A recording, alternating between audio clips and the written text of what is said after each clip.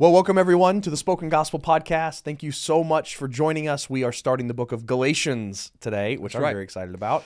I am too. Yeah. I am too. It's a beast of a book, even though it's small. There's a lot going on. Man, I don't know if I've studied more for an episode of this podcast Get ready, everybody. than for for the book of Galatians, and yet still feel like I'm only like scratching the surface. Yeah, and why? Why is that? What's going on in Galatians that has you in such a tizzy, Seth? Uh, so I mean, depending on how in tune with the theological debates people might be, it's like the issue at hand is like how does the Old Testament and the New Testament interact with each other? Well, that's a big question. What Yep. does the Old Testament laws mean for a Christian today? Should Mm. we follow them or should we not? And if we don't follow them, does that mean we're just abandoning what God said was good and right a couple thousand years ago? Does that imply God changes?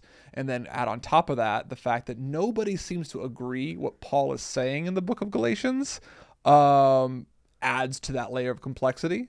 Uh, or and also, who is he speaking against? And what's the hair? Like everything is debated, and everything's debated on a topic that holds a whole bunch of weight for Christian, which Yeah. is what do we do with the Old Testament now that Jesus has come? Yeah. So, there you go. yeah, Welcome to Seth's mind, everyone.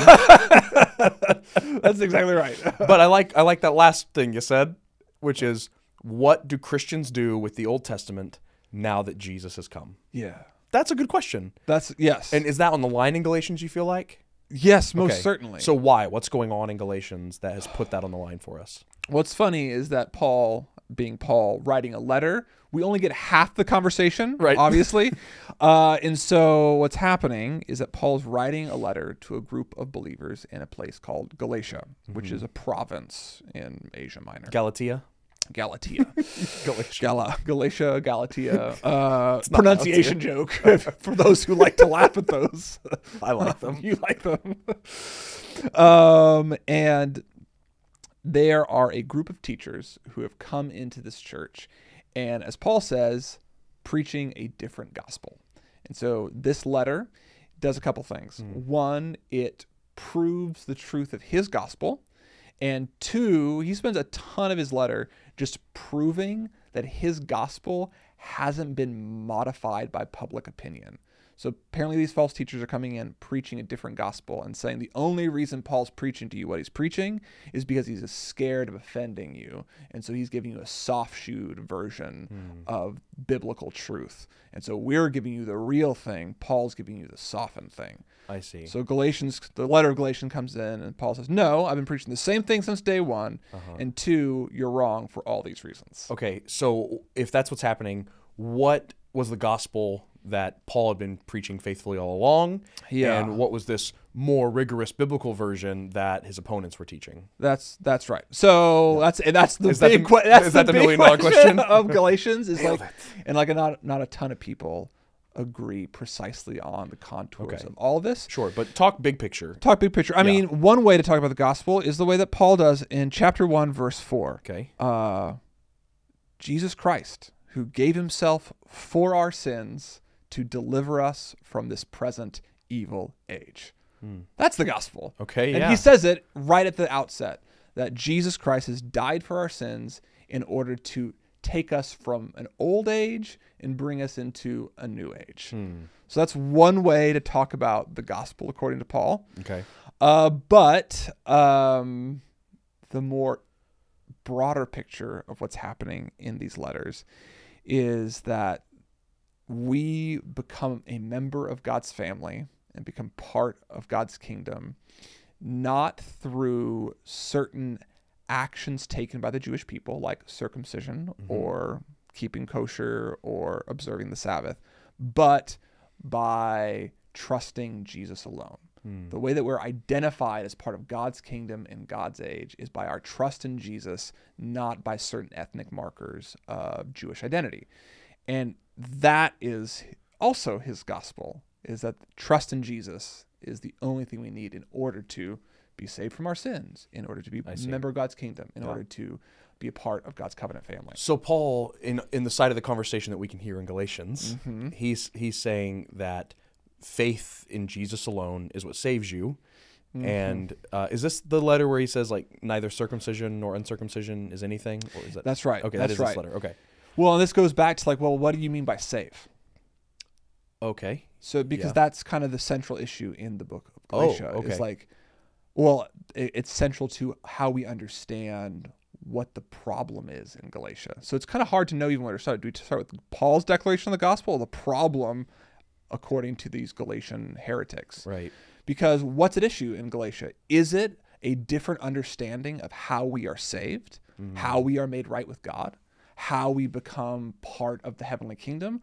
Or is it about how we best respond to the fact that God has made us part of his kingdom? Oh, I see.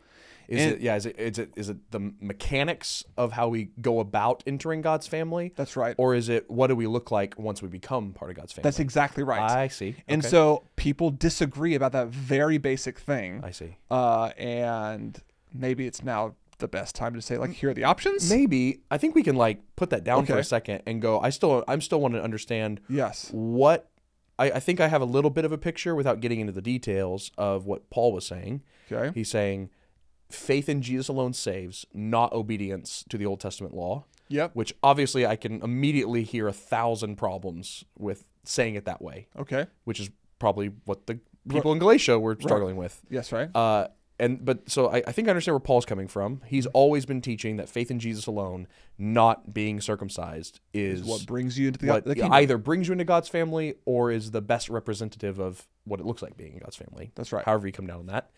So what were the other opponents saying? Like what was their gospel? Yes. Mm-hmm. Because I'm asking this because at the opening of his letter, yeah. Paul seems real mad. Yeah, yeah, yeah. He seems real, real mad.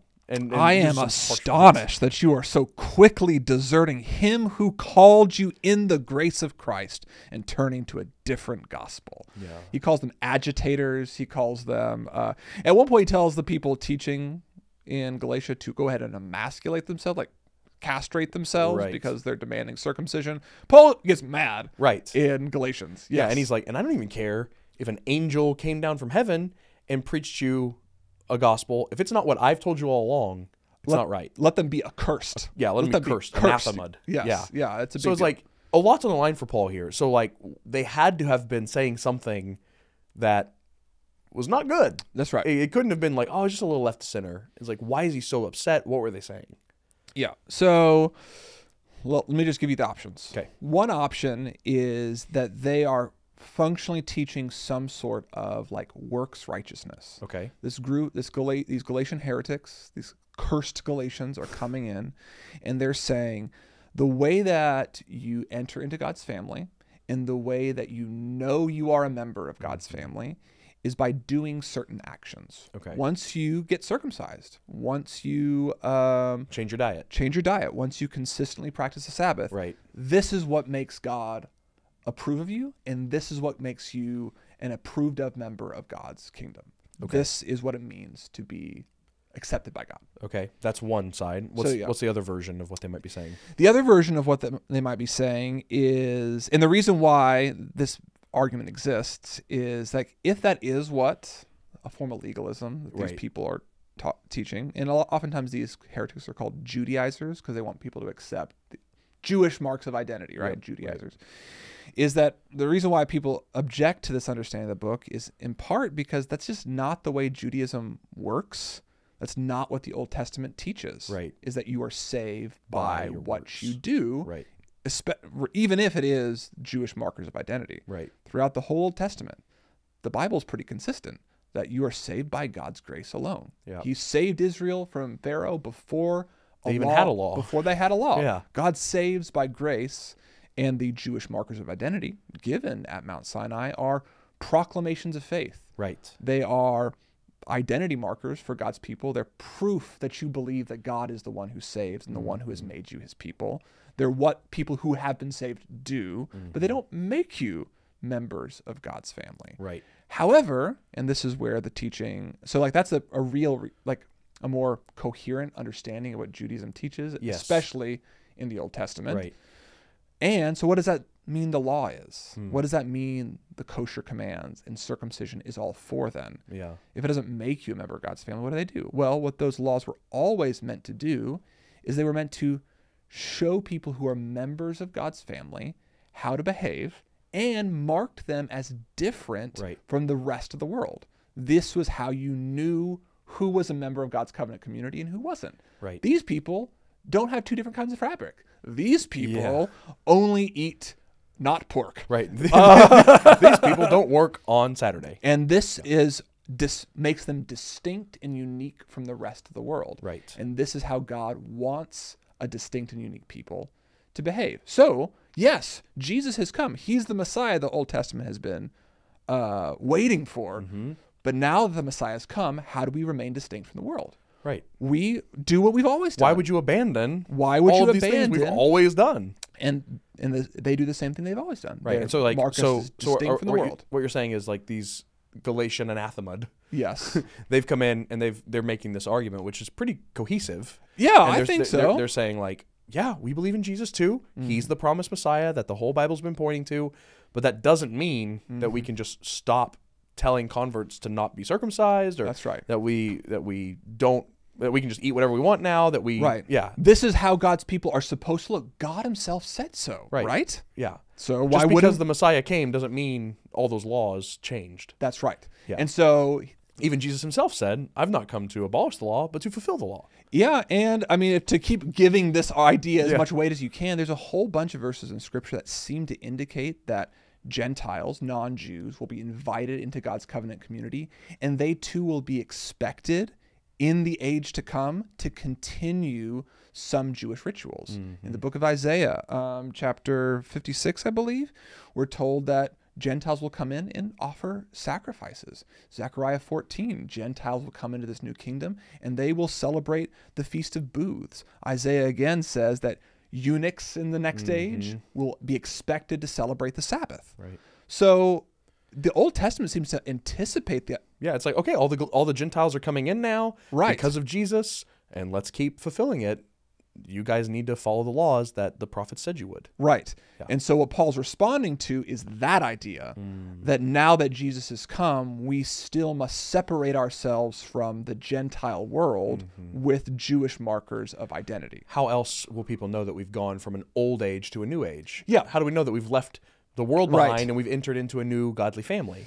You can probably tell by like our audience can probably tell by all the time we're spending on this. This feels particularly compelling to us um, because I think it gives as much credit as I can to an idea. The idea that we are saved by our works is so alien to a Jewish mind Right. that this feels like it makes sense of the Bible as I understand it and as Jews have understood it for hundreds and hundreds of years. Right.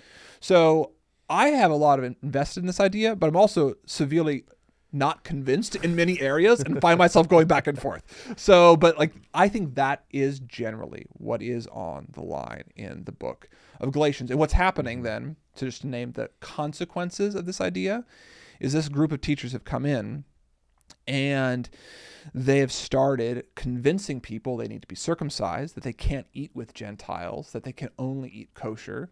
And their church, in some ways, is dividing into two groups again. Hmm. You have a more Jewish oriented church and a less Jewish oriented church.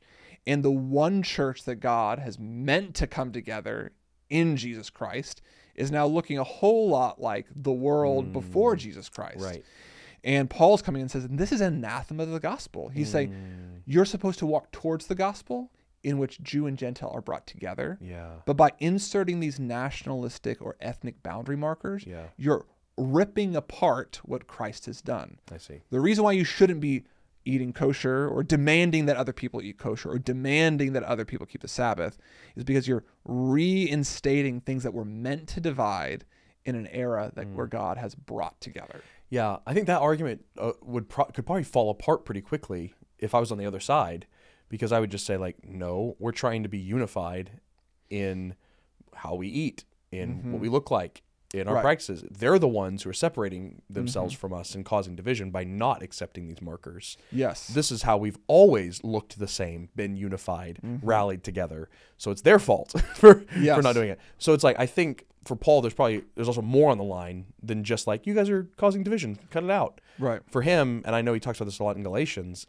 He points to the fact that they are missing out on the point of the law and the point of circumcision entirely.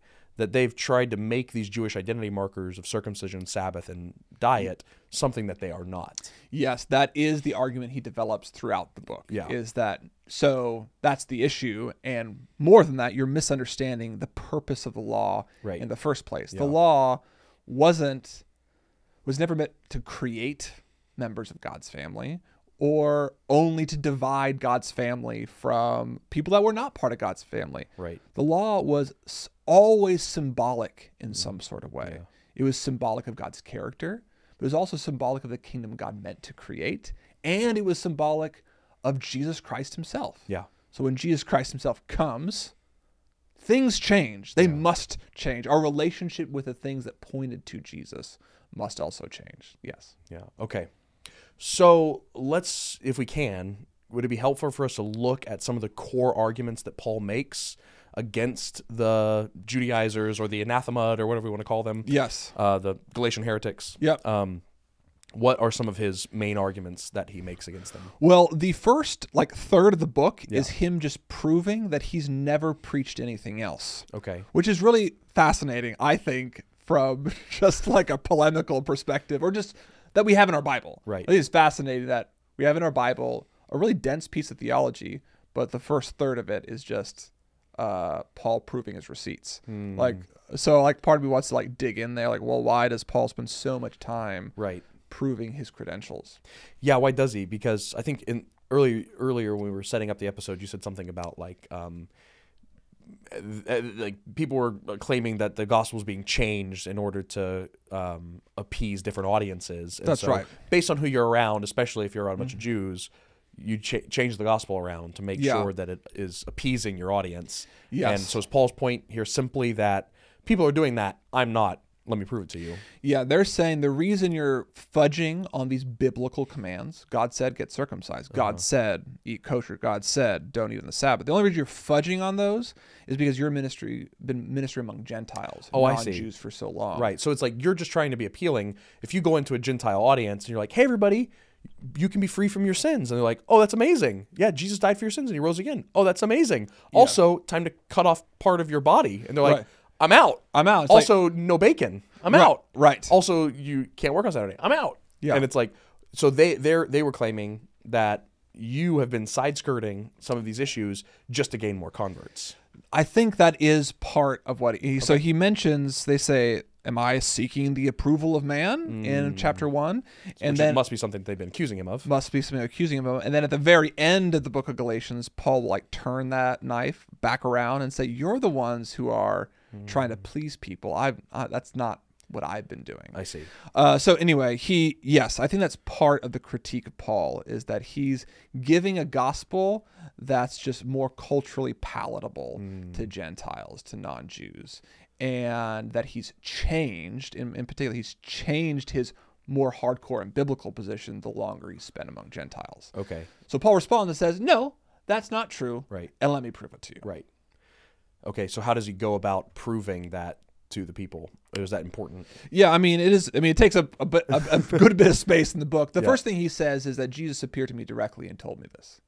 Oh well, all right. so, Check and mates. right, it's like it's a pretty big moment. He's like, I didn't receive what I'm teaching Mm-hmm. about faith alone being the way in which we are Mm-hmm. identified as members of God's family. I didn't receive that from anybody. I got that from from Jesus. Right. That's who I got it from. Yeah. Um, it is an amazing apologetic how, that he lays out here. Not just that the fact that his message hasn't changed, but also a, an apologetic for Christianity in general, where it's like Paul gets a message from Jesus, Mm-hmm. starts preaching, and then a long time later runs into the rest of the disciples, and Yes. they realize that they're preaching the same message. that's exactly right. But he heard it straight from Jesus. They heard it from Jesus too, but incarnate. yes. And it's like, how did this Paul get that message if it wasn't for a risen Jesus? That's right. That's amazing. Yes, and that's what exactly what he does. He's like, it was a, it was until three years later, Right. that I even met an apostle, Right. and we had nothing to disagree about then. and then eleven years later, Hmm. I brought my ministry under formal review by a council at Jerusalem, and you know what Hmm. they said then?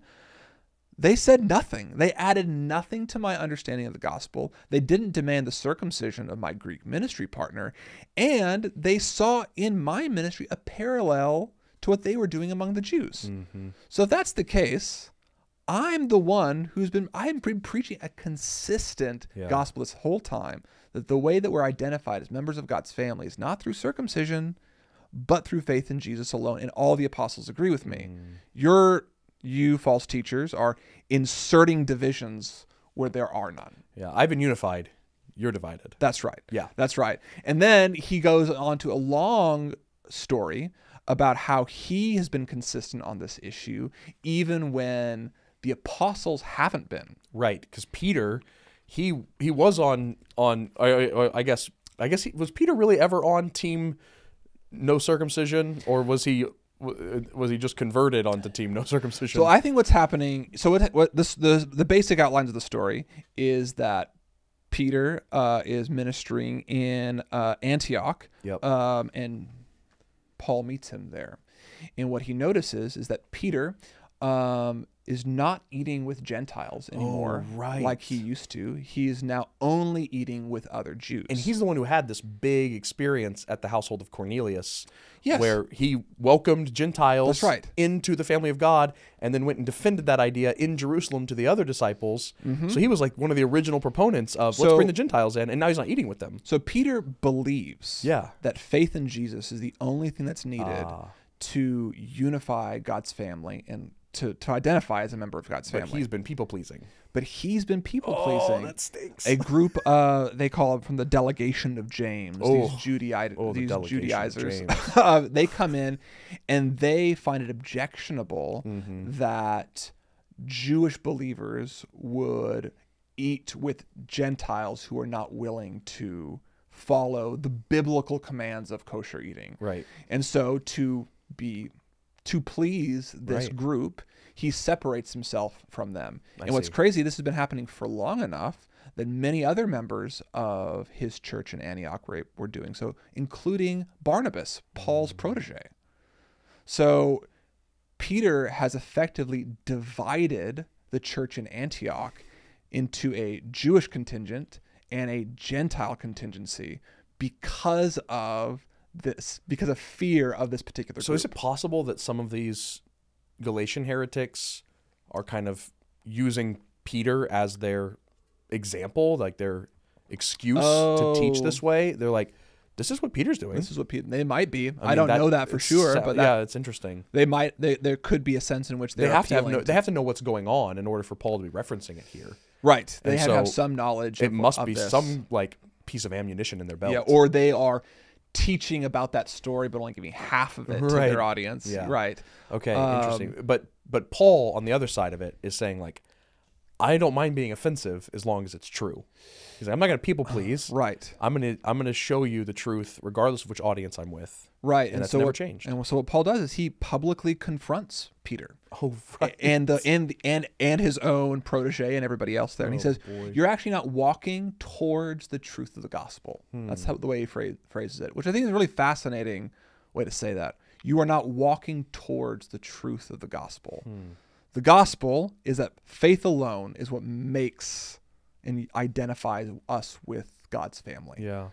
and you are inserting into that pre-established unity by the gospel Jewish markers of identity, eating mm. kosher. Yeah. That is not walking towards the gospel. And so he's saying you need to stop that and walk towards the unity Christ has purchased Yeah. in himself.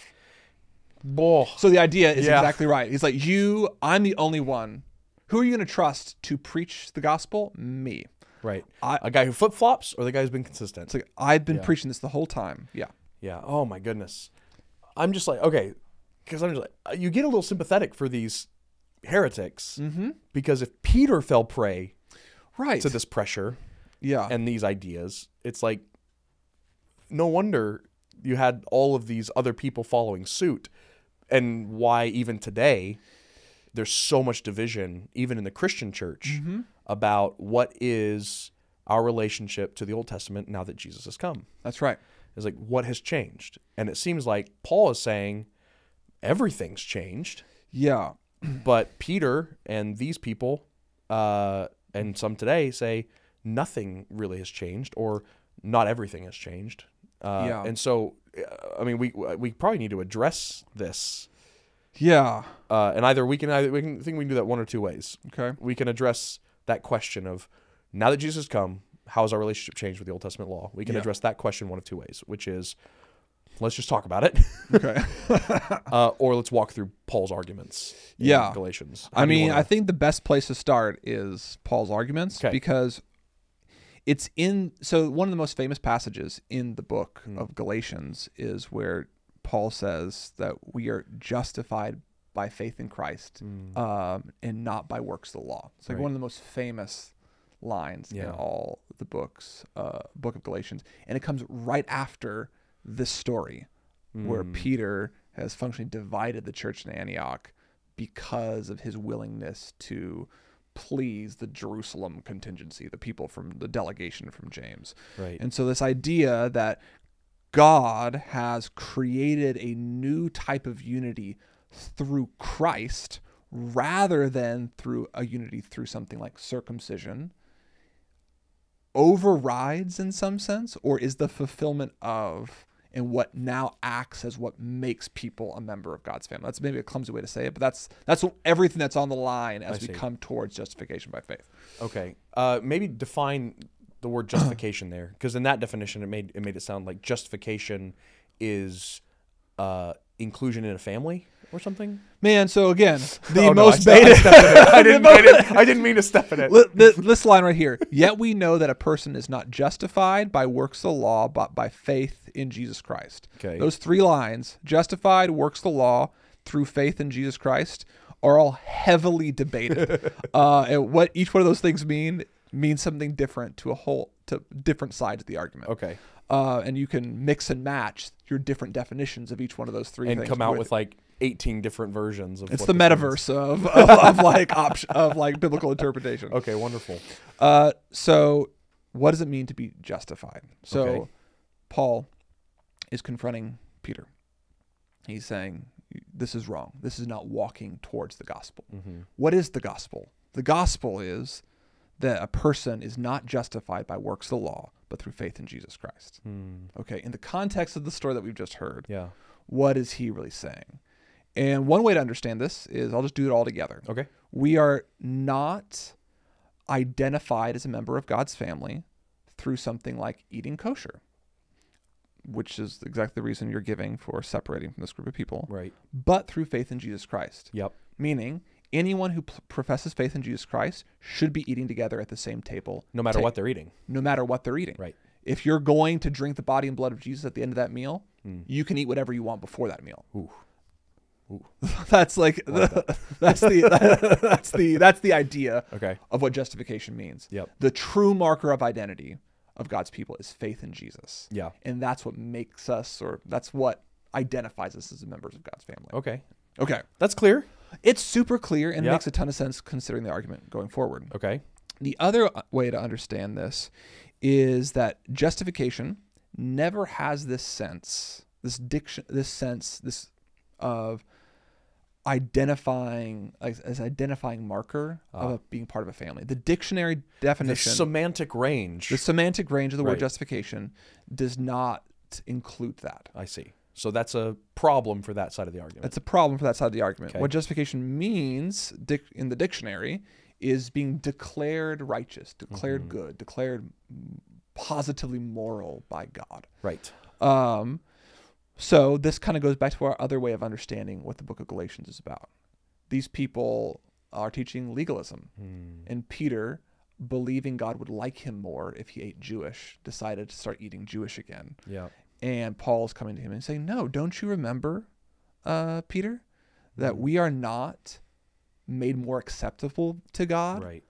by doing certain legal practices? We're not declared innocent, moral, righteous by God, but simply by faith in Jesus Christ. Yeah. The only qualification you need by, to be called right in God's eyes is faith in Jesus. Yeah.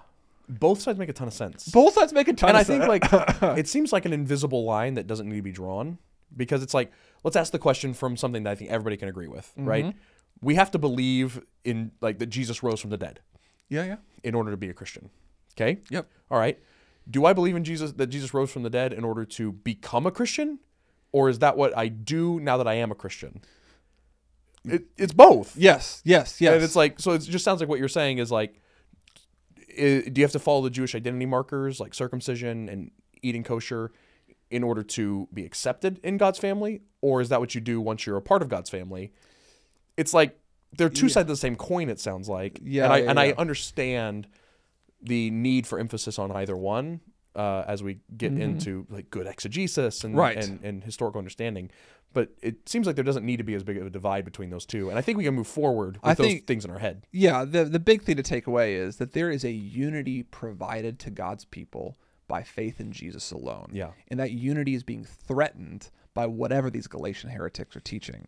And Paul's saying, you've got to cut it out. Yeah. The gospel of Jesus Christ has unified God's people, and what you are believing is dividing God's people. Mm-hmm. And you could talk about legalism and Jewish markers of identity kind of in the same way, in the sense. Right. It's like you can divide over Jewish markers of identity. There's a Jewish looking church and a non Jewish looking church. Jesus has done something that should abolish those distinctions and you need to stop it.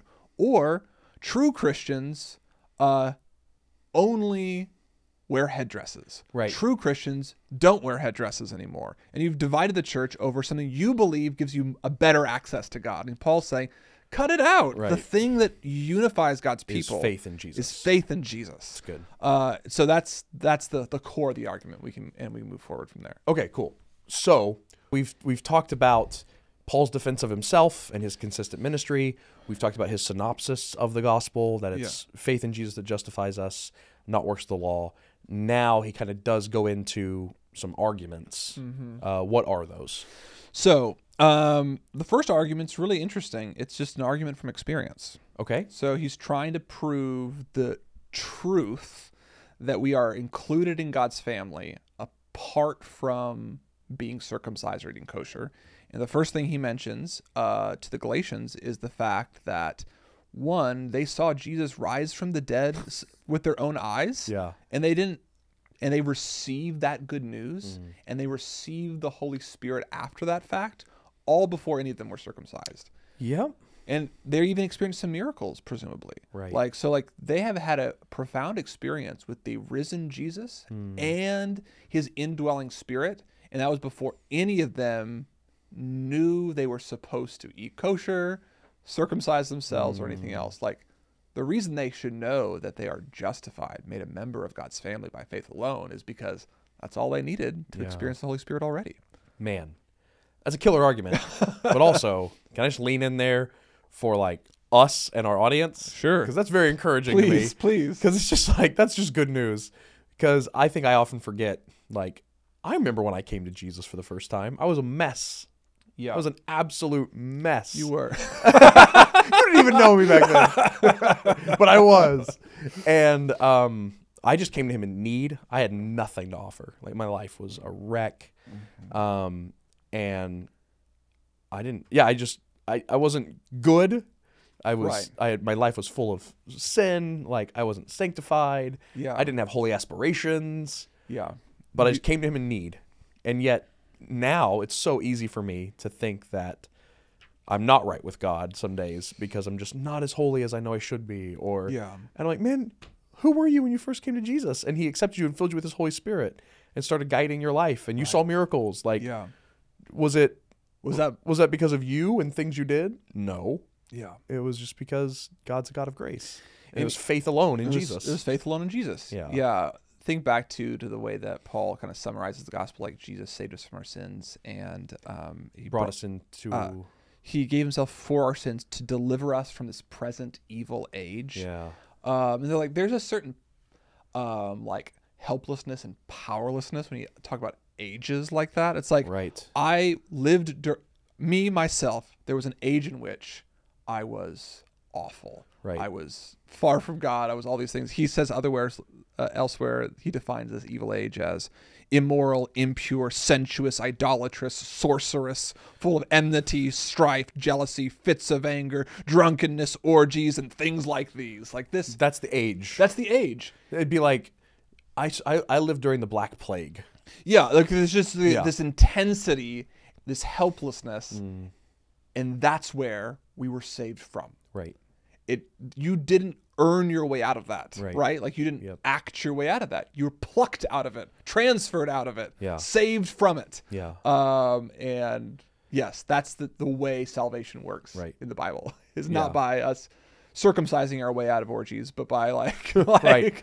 Yeah. And then I love what he says too in I think it's Galatians 3 2, where he says, having begun by the Spirit, are you now trying to be completed by the flesh? Yes. Like are you trying like the Holy Spirit started this work. Are you now trying to finish it of by your own yeah. power? So something really great happened when he transferred you out of that realm. Yeah. And you think you can improve on the work of the Spirit Right. by keeping the Sabbath? Yeah. No, you are transformed by faith, and you will continue by faith. Later on in the argument, we'll get there. He's like, the only circumcision is no uncircumcision doesn't count for anything. The only thing that counts is faith working itself out in love. Like mm. that's the new definition of what it means Yeah. to be a part of God's covenant family. I want to put a pin in this for everybody listening and watching that we are going to get into the question of what is the Old Testament law? Oh, gosh, How does it what does that have to do with us today? We're we're just working through the arguments that, Yeah, yeah, that yeah. Paul lays out. We'll we'll get some really firm answers on the ground, but Yes. I just I don't want anybody to think we're side skirting the issue. We're going to get Yeah. there. Yeah, we're just going at at the pace that Paul does. That's right. so the first one is an argument from experience. Okay, love that. Next. Uh, the next argument is he says, well, the whole Hebrew Bible agrees with my position. uh, the Hebrew Bible that you're saying that we must be more attentive to yeah. uh, and follow the laws that it describes. Well, all the whole Hebrew laws talks about the fact that we are made part of God's family by faith alone, apart from the work. That's interesting because it seems to be the exact argument that people who, who would be on the Galatian heretics side would say. It's like, just go read the Hebrew Bible. Right. It says be circumcised. It's a command. Yes. How can you argue with that? And he's like, actually, the whole Bible says don't be circumcised. Well, what the Bible says is uh, so he goes to Abraham, the first Jew. The first the, the guy who received the promise of circumcision itself, Right. Well, one, he was a Gentile. right? He was Babylonian. He was Babylonian. Uh, and then how did he receive the promise? By faith. Oh yeah, By faith, God counted him as righteous. yeah. Because God gave him the promise that Mm-hmm. through him all nations would be blessed, and he believed him, Yep. and it was credited to him as righteousness. He was justified Yes. because he took God at his word. He had faith. That's right. Uh, That's right. So he's like, so the patriarch agrees with me. Yep. That's how the Jews were created in the first place, was through faith. Yep. So, one point. Secondly, uh, not only do the patriarchs agree with me, the law itself agrees with me. The book of Deuteronomy, he quotes from the book of Deuteronomy, uh, and he, which includes all these debated identity markers that they're discussing in the book of Galatians, uh, it says that no one who trusts those laws to become part of God's family um, will be able to because no one can keep those laws perfectly. Deuteronomy 27, 26. The, the law itself admits that you can't follow these laws perfectly. And so if that's if the law, if that's your hope, Yeah. the law itself tells you that can't be Bad hope. because it will ultimately fail you at some Ah, point. You're like the law says be circumcised, like do the Sabbath, eat kosher, and then you'll be okay. And it's like actually it says you can never follow those laws perfectly, and so Right. you need a different hope. Yeah, you need a different standard for what will include you in God's family than just strict adherence to the law. And for Deuteronomy, that standard was the covenant, which Mm-hmm. was God saying, "I'll be your God, you'll be my people." Yes. Yeah. Will you trust God? Okay. Will you trust that He will be your God? That's Yeah. that's the point. And will you obey Him? Will you obey Him? Yeah. Right. Okay. Uh, then he says, okay, not only does Abraham, our first patriarch, the creator of the Jewish people, was he justified by faith? Not only does Mm-hmm. The, the, law, it say, say you need to be justified by faith, you need to be justified by faith because the law is not enough. The prophets also agree with me. Oh, boy. And he quotes from the book of Habakkuk, and he says, "The righteous shall live by faith." Oh, which is just a straight up quote Right. from the book of Habakkuk. And isn't there isn't there like a semantic word overlap with the righteous and being justified? Oh yeah, So it's like the righteous will live by faith is almost another way of saying you're justified by faith. Ye- I I don't know what you're saying. I think the Hebrew and Greek both share roots uh, that we translate justice and righteousness. Yes, that's true. This is right. Uh, and so to to to have that word that says you know the righteous will live by faith Mm-hmm.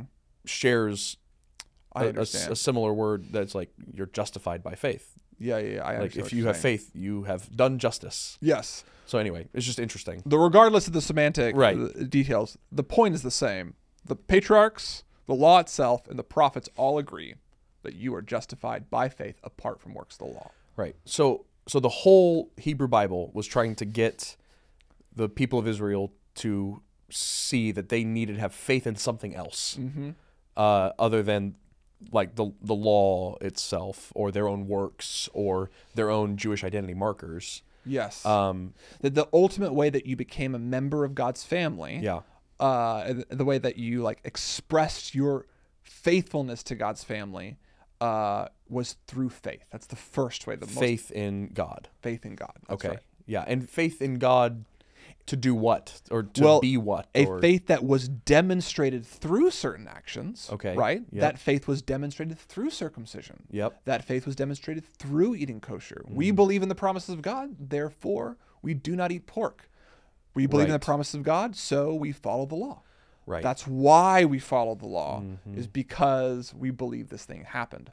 But this is where Paul's argument continues to okay. go Okay. is that um, Jesus Yeah. has fulfilled that law for us. Right. So this is where it gets even Yes. more. It Right. gets it gets deeper. Okay, because circumcision, kosher laws, Sabbath weren't just ends in themselves. They were pictures of something, were pointing to something. Yes. They were acts of faith because they, they weren't having faith that circumcision will save me. That's right. They were having faith that God was doing something in the world, They were having faith that God had called them His people. right, and and that all nations would be blessed That's right. through them That's right. through some thing that he was going to do. Mm-hmm. And so they were participating, putting like flesh on that faith Yeah. by following those laws. That's right. Okay. Yes. So continue with Paul's arguments then. Yes. So then he moves uh, after saying, well, the whole Hebrew Bible talks about salvation by Yeah. faith. And then he says, now the laws themselves and the promises that the laws like that we are supposed to have faith in have also all been pointing in the same direction, which is which is Jesus. Okay. So he Oh, yeah. uh, I mean, I didn't say that. So So yeah, I was hinting at yeah, it. yeah, you were hinting at it. Like that's that's where it's going.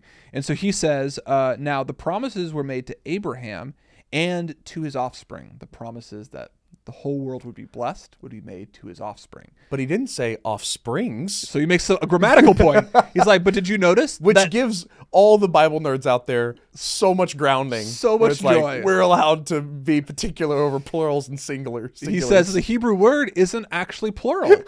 the Hebrew word is singular. It's offspring singular, uh, which means Jesus. Right, because it wasn't oh every seed that you've ever born, every offspring, every child that's ever been born to the Jewish nation. He was saying that it was going to happen through one of your offspring, singular. Yes, Abraham would have a, A- single yeah, offspring right. who would bless the entire world. Yep. And through faith in him is how he became part of God's covenant family. That's right. So when when it says that Abraham was justified by faith, he was saying that he was believing God that one of his offspring would save the whole world. That's right. And so what he's saying is Abraham had faith in Jesus. Yeah. He didn't know his name. And that was 430 years before a law was ever written in Israel. Whoa. And so, yeah. So God's family Yeah. was created and people were invited into it by faith in Jesus, not by circumcision or eating kosher. Right. Because and then when but circumcision was given to Abraham, That was but not as a law, not as a law, but as a sign. as a sign. It was it was which means and I think sign we can get all weird about. Let's just say what a sign is. Signs point to things. Yep. If I'm driving to Orlando, I'm going to see a sign that says Disney World, 50 miles. It's pointing me to something. One of my Yes. one of my favorite things. And just to get really uh, graphic for a second, oh boy. uh, why why circumcise why circumcision on your reproductive organs? Right. Because the promise was given to an offspring. Right. So the reason why Hebrew men circumcised themselves was to remember and to like cut into their bodies a prophecy Right. that a Jewish descendant would come and bless the entire world. Right. Every time you would circumcise a child, uh, because it was on the eighth day, Yeah. right? Every time a Jewish male was circumcised, the idea that was to be communicated there was maybe this child will bear the Messiah. Yeah. Maybe this child will bear the offspring. Mm-hmm. You know, and like, Yes. and you like that's the pro. It's an acted out prophecy, like Right. I- and so You know, I haven't thought about this before. This is totally off Galatians. Oh, okay. But it's interesting then that Jesus didn't have a biological father. Hmm. Right? oh right, It's almost as if to say God himself is Right. always the one who had to be the Messiah. yes, The, the circumcision was a could si- never have come from man. right. Yeah, So like, oh, that's interesting. that is interesting. Anyway, yeah, that's side cool. note. Uh, good, good side note. Good side. That's good. Okay. Uh, and so then, um, when we say that Jesus has fulfilled circumcision, Mm-hmm. we're saying that the sign to which, you know, the, the thing to which circumcision pointed Mm-hmm. has now come. Jesus is here. The offspring has been born. Therefore, the sign is no longer necessary because it's not pointing to anything new Right. he's come. That's why when I go to Disney World and I'm inside the Magic Kingdom, I'm not going to see the same sign that says, you know, mm-hmm. Disney World 50 miles. That Yeah. wouldn't make any sense because I'm mm-hmm. there. I don't need the sign anymore, right? Because I'm I'm there. I'm You're to the place that it pointed to. yeah. And so I think that's Paul's point is that the the offspring has come. He's here. So we don't need the sign anymore. Yes, that's that's that's right. He, uh, and in particular, he's he's saying that we no longer need it as a means by which to identify who is part of God's oh, family. right. Because the way that's helpful. That's better. Because the way we identify as how we're part of God's family is the same way they did by faith. by Yeah, faith in Jesus. That's right. That's right. Right. And to reverse that in any way is to nullify the promise that made the Jewish people in the first place. That's right. if you start saying, well, no, no, it's doing a certain action is that what makes us part of God's family, then there never would have been a Jewish people. The mm-hmm. Jewish people were created, God's people were created by faith, not by doing a certain action. Yeah. Okay. How else does Paul advance the argument? So what happens next is that Paul is fairly satisfied that he has proven. I mean, yeah, he's kind Um, of painted him in the corner with the whole like 430 years thing.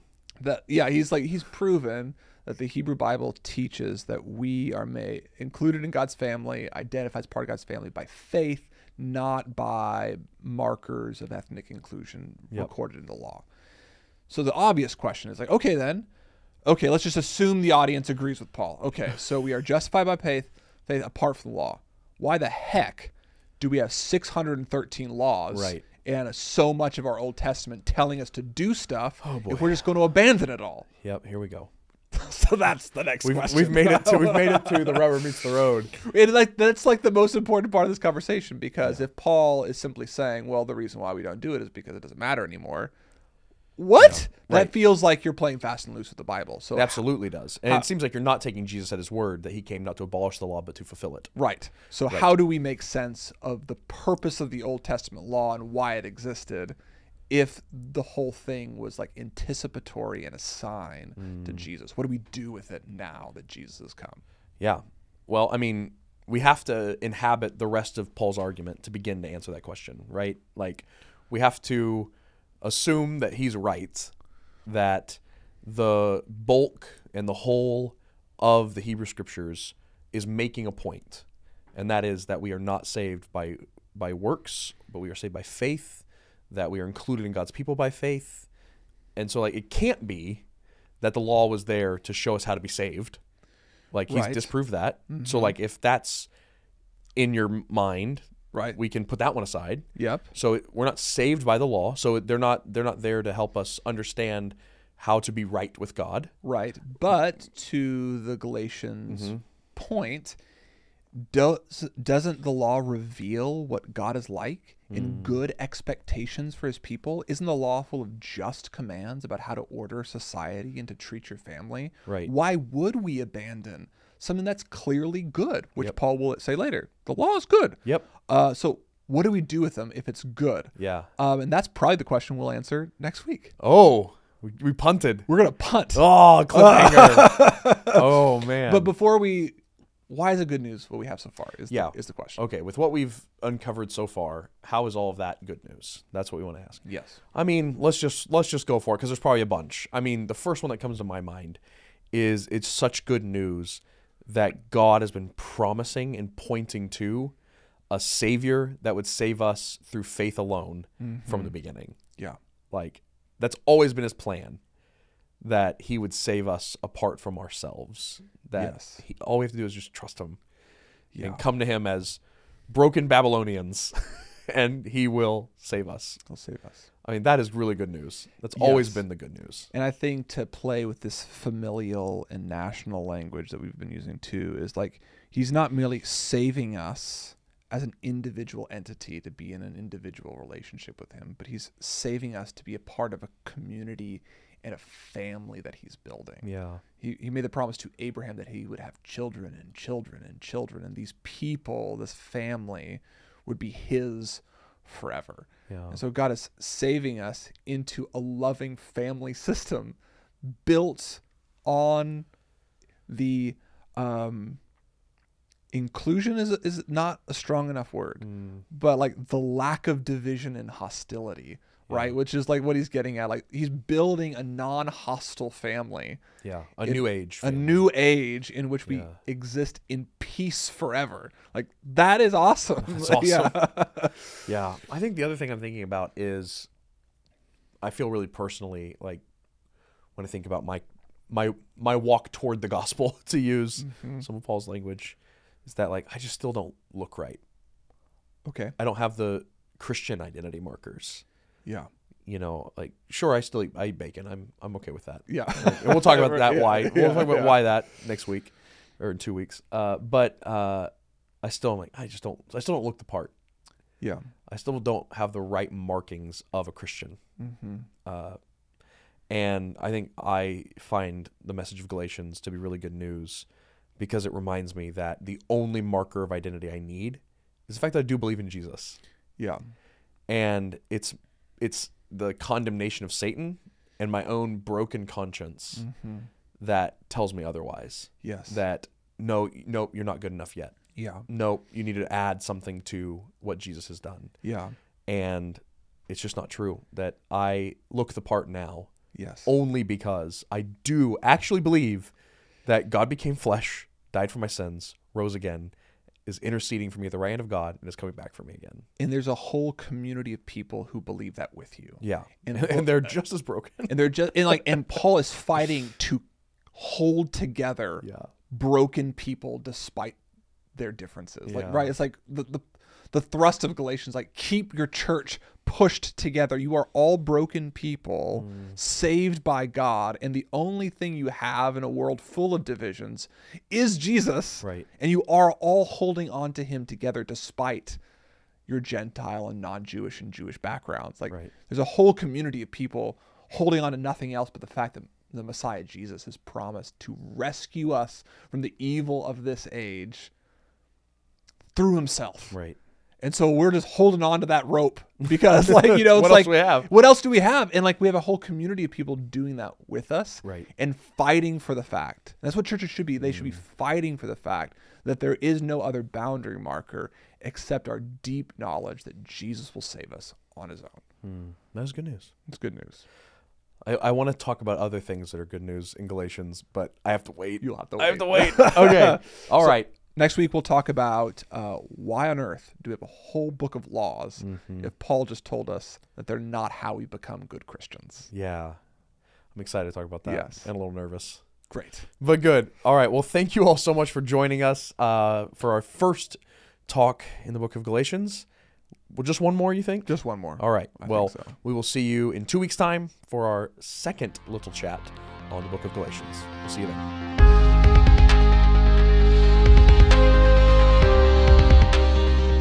Thank you for listening to the Spoken Gospel Podcast. Spoken Gospel creates short films, devotionals, and podcasts like this one. Everything we make is free because of generous supporters like you. To see our resources, visit spokengospel.com or subscribe to our YouTube channel. Thanks for listening. See you next time.